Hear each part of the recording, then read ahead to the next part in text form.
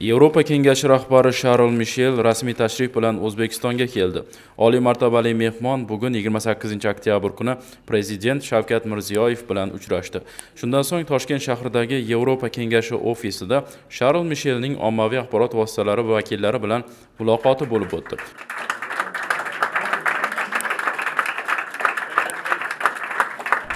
Uchrashuvda davlat rahbari bilan olib borilgan muzokaralar to'g'risida so'z bordi. Bugun prezident shavkat mirziyoyev bilan uchrashish imkoniyatiga ega bo'ldik. Bizda umumiy siyosiy iroda maqsadlarga erishish va hamkorlikni kengaytirish bo'yicha juda katta rejalar mavjud. O'zbekiston va yevropa ittifoqi o'rtasida kengaytirilgan sheriklik va hamkorlik to'g'risidagi bitim hamda gsp plus imtiyozli tizimi tufayli biz iqtisodiy aloqalarimizni mustahkamlash va kengaytirish uchun asoslarga egamiz. Va biz inson huquqlari kabi bir qator juda muhim mavzularni muhokama qildik. Qildik. Aytishim kerak biz keng ko'lamli mavzularni ochiq muhokama qilish imkoniyatini juda qadrlaymiz. O'zbekiston va o'zbekiston prezidentining mintaqaviy hamkorlikni mustahkamlashdagi muhim rolini yuqori baholaymiz. Yevropa ittifoqi har doim sherik bo'lishga barqarorlik va farovonlik uchun mintaqaviy hamkorlikni mustahkamlashni qo'llab quvvatlashga tayyor. Yaqinda yevropa ittifoqi va markaziy osiyo o'rtasidagi o'zaro bog'liqlik bo'yicha samarqand konferensiyasi bo'lib o'tadi.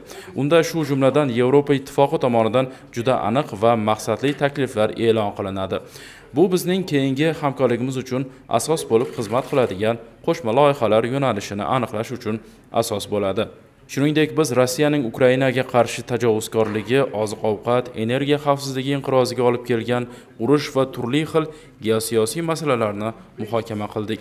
Afg'onistonga kelsak bu nafaqat mintaqa uchun balki butun dunyo barqarorligi uchun juda muhim masala. Biz o'zaro aloqalarni mustahkamlash majburiyatini ko'rib turibmiz va ushbu yondashuv hamkorlik darajasini va uning samaradorligini yanada yaxshilashga yordam beradi deb ishonamiz. Prezidentga aytganimdek yevropa ittifoqida yashirin kun tartibi yo'q. Biz o'z harakatlarimiz va siyosatimizni ikkita muhim prinsipga asoslaymiz. Bu hamma xalqlarning farovonligi uchun tinchlik va xavfsizlikdir. Siyosiy muloqot o'zaro tushunish va hurmat bu hamkorlikning asosidir. O'zbekiston prezidenti bilan juda yaxshi muzokaralar olib bordik. Juda aniq mavzularni muhokama qildik. Ikki tomonlama darajada biz iqtisodiy aloqalarni mustahkamlamoqchimiz. O'zbekiston bilan kengaytirilgan sheriklik va hamkorlik bitimini kelishib oldik. Bu iqtisodiy aloqalarni rivojlantirishga yordam beradi. Ushbu bitim yevropa ittifoqi va o'zbekiston orasida iqtisodiy hamkorlikni va faoliyatni kuchaytirishga yordam beradi. Shuningdek yevropa kengashi rahbari sharl mishel jurnalistlarga intervyu berdi suhbatda kelgusidagi hamkorlik rejalari to'g'risida so'z bordi Yeah, we had uh, very good talks with the president of Uzbekistan. Biz o'zbekistonning markaziy osiyoda yanada barqarorlik va mintaqaviy hamkorlik uchun muhim rolini juda qadrlaymiz. Shuningdek biz davlat rahbari bilan kelajakdagi loyihalarni ham muhokama qildik. Masalan kelajak uchun eshik bo'lgan o'zaro bog'liqlik va yevropa ittifoqi agar kerak bo'lsa qo'llab quvvatlashga yordam berishga tajriba bilimlarini berishga ham tayyor.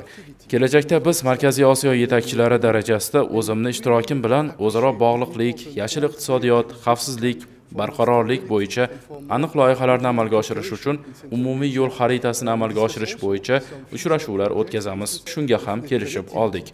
Shuningdek bu mintaqa va yevropa ittifoqi o'rtasidagi o'zaro siyosiy muloqotni takomillashtirish va chuqurroq tushunish yo'lidir. Tarixda birinchi marta shunday formatda ostonadagi sammit bo'lib o'tdi. Bu juda yaxshi va samarali uchrashuv bo'lib bir birimizni tinglash imkoniyatini berdi. Markaziy osiyo tabiiy resurslarning katta zaxirasiga ega shuningdek favqulodda geografik joylashuvga ega. Bu aslida osiyo va yevropa ittifoqi o'rtasidagi ko'prikdir. Shuning uchun agar biz stolda aniq loyihalar bilan harakatlar xaritasi haqida gapiradigan bo'lsak unda biz barqarorlik va rivojlanish xalqimiz manfaati uchun ko'p ishlar qilishimiz mumkin. Yaqinda samarqandda yevropa ittifoqi va markaziy osiyo o'rtasidagi o'zaro bog'liqlik bo'yicha konferensiya bo'lib o'tadi. U yerda biz yashil texnologiyalar raqamlashtirish energiya va suv resurslari bo'yicha aniq takliflarni taqdim etamiz. Prezident va men so'z erkinligi ommaviy axborot vositalari erkinligi inson huquqlari masalasini ham muhokama qildik. So'z erkinligi yevropa ittifoqining boshqa davlatlar bilan hamkorligining muhim hatto zarur elementi hisoblanadi